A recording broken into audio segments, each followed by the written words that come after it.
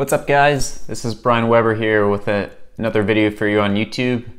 And this is a video that I wanted to make for quite some time. And I'm going to talk about the right and the wrong way to approach trading as a beginner. Because as this volatility is increasing and it's attracting a lot of newbies, people that have no experience trading, that they're more than likely approaching this the wrong way, trying to get rich quick, trading with too much money, trading with their emotions, with no understanding or no knowledge whatsoever on how to actually trade in general. So I thought I'd make this video to help, hopefully help some of those people out. And if you, maybe it'll actually help you out too if you're going through some trading struggles as well. So let's dive in to some of the things I want to talk about. So the first thing I want to talk about is I've actually had this, I've seen this problem with a lot of new traders, especially some people that have come to me to coach them because um, they're getting lured into this market with the, how much volatility that's that there has been in the past few months. And there's been a lot of FOMO. There's been a lot of oh, I always want to make a bunch of money really fast. Uh, you know, how what should I buy? When should I buy? You know, stuff like that, without even caring whatsoever on how to actually trade yourself themselves. You know, how do I teach me how to read a chart? You know, teach me why this trade is working, why this one isn't working. Where should I enter? Where should my stop loss be? Where should I take my profit?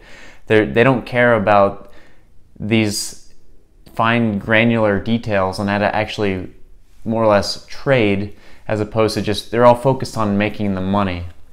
Yeah, that's great. You only make money trading. It, it's as a it's a reward for actually doing your job uh, with having discipline, um, sticking to your strategy, having a strategy in the first place. You know, a lot of these people that come and talk to me about trading, they don't even have any idea uh, they don't have a trading plan. They don't have any idea where they would enter a trade, more or less um, how much position sizing they would actually need for this trade, like how to how to have a, a proper risk management approach to it. Like, let me give you an example without giving anyone saying any names at all. Um, I've had someone come in the past to me with uh, had many coaching sessions with this person and taught them everything from how to read charts, read market structure, trend, everything. You know, how to read volume with price action, either through a day trading, a swing trading uh, time frame. It doesn't matter because it's all the market's fractal. The same thing will work on a small time frame, and it will work on a larger time frame.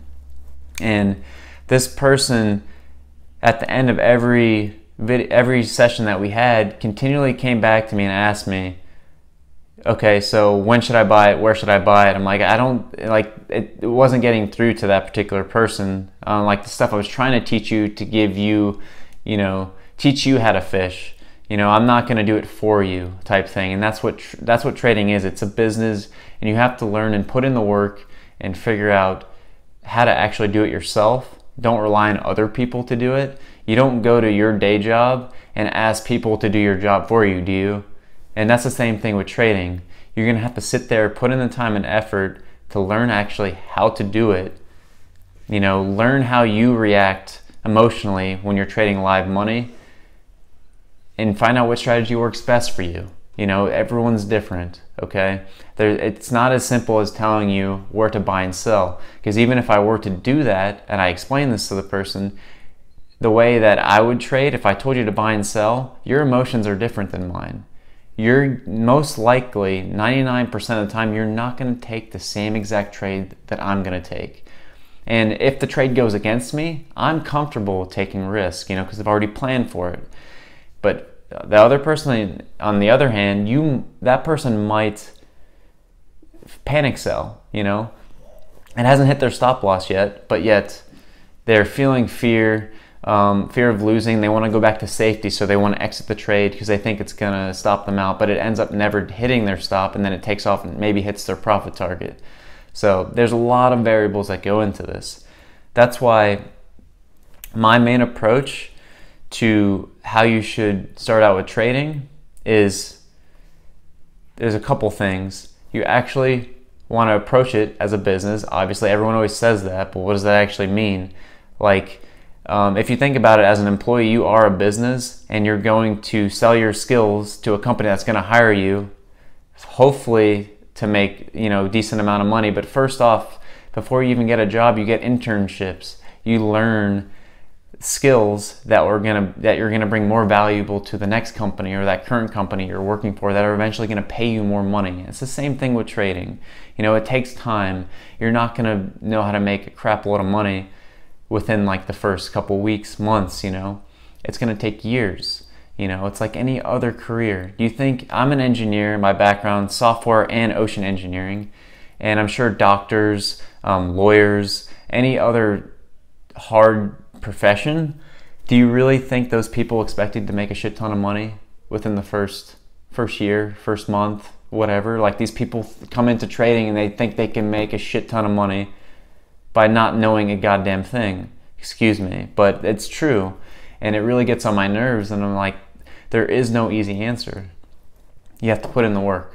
That's all there is. Screen time, learning what works for you, what doesn't work, and keep pursuing with a small amount of risk until you figure out what works consistently for you. Then you can slowly start to add to your positions and start increasing your risk. You know, having more money, trading with more money does not anywhere, any way, shape, or form equal that you're going to be a better trader.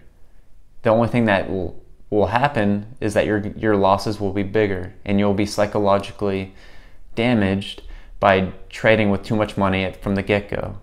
And that's what a lot of problems, a lot of problems will come from that. And that's one of the, the going back to the guy that I was coaching, he kept doing that when I told him not to. He pretty much did everything I told him not to do, which is coincidentally a lot of problems that people have psychologically when they're trading. They know what to do, but they don't do it. And why is that? Because they aren't disciplined they they're trading from a place of fear, place of stress. They're not in the right mindset.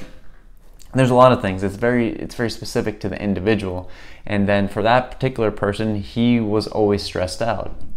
Um, he had financial money issues, financial issues. Like you're depending upon your trading to make a living. It you sh- you cannot trade like that. You have to be able to be free of any financial stresses, life stresses, um, you got to be in a clear, calm state mentally and physically.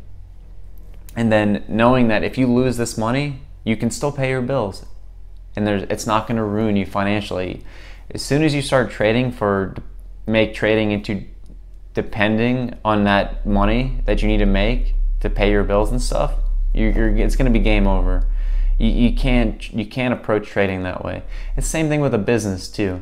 When you start a side hustle and a business, you want to you're going to have a day job right that's continually having income come in you're not going to rely on that business from the get-go to pay your bills. You're going to build it up over time and then eventually that income well the plan will be for it to overtake your day job and eventually pay for your bills and pay for everything and eventually bring in more money to you. That's the same thing with trading. I don't know why people think why they don't think about it like this. It's probably because of all the financial institutions and ads you'll see in businesses throughout the year, the industry is just propped it up to seem like it's super easy to make money trading. Like, give me, put all your money in, deposit twenty thousand um, dollars.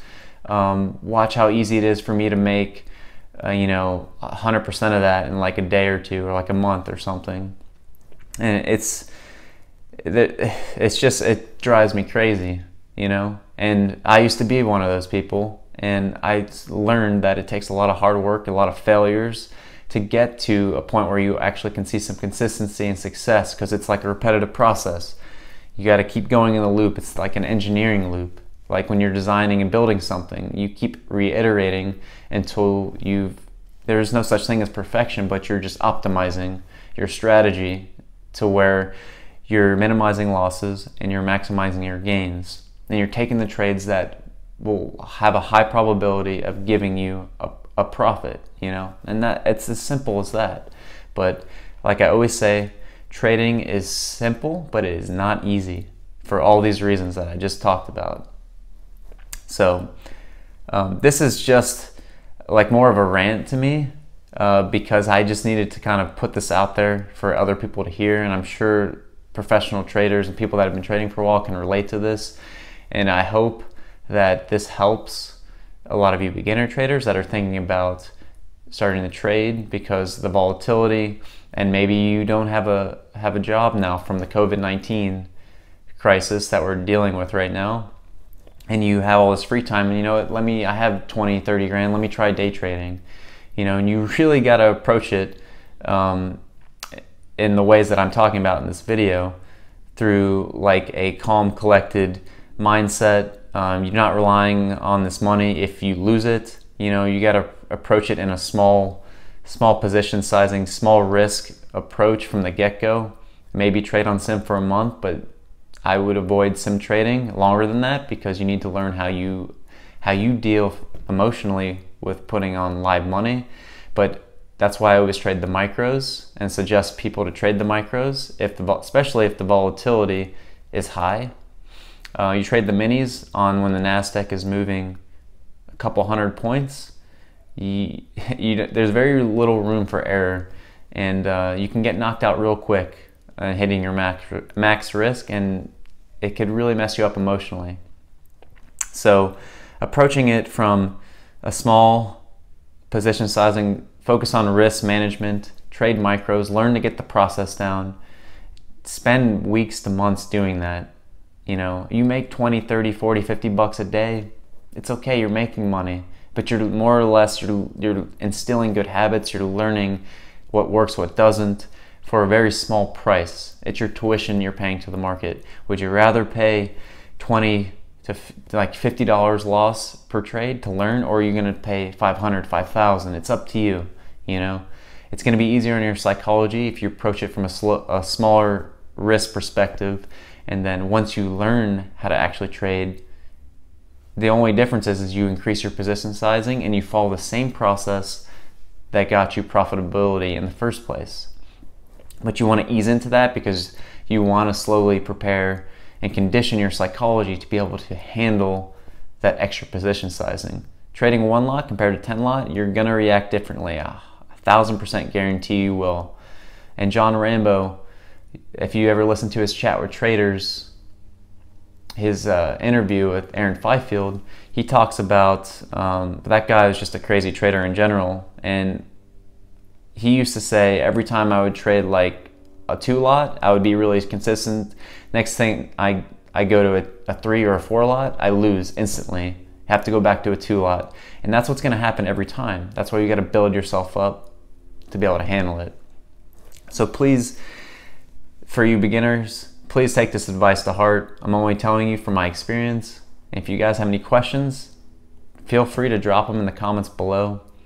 I'd be happy to help. That's why I'm making this YouTube channel to share my journey and share my insights with you guys. And um, feel free to subscribe to my YouTube channel. I'm going to be posting more videos in the future. Um, so just let me know if you guys want to share your experience. Chat, just let me know in the comments, and uh, I'll be back with another video with you guys soon. And uh, happy trading. Let Price Discovery be your guide and manage your risk. Take care, guys. Bye.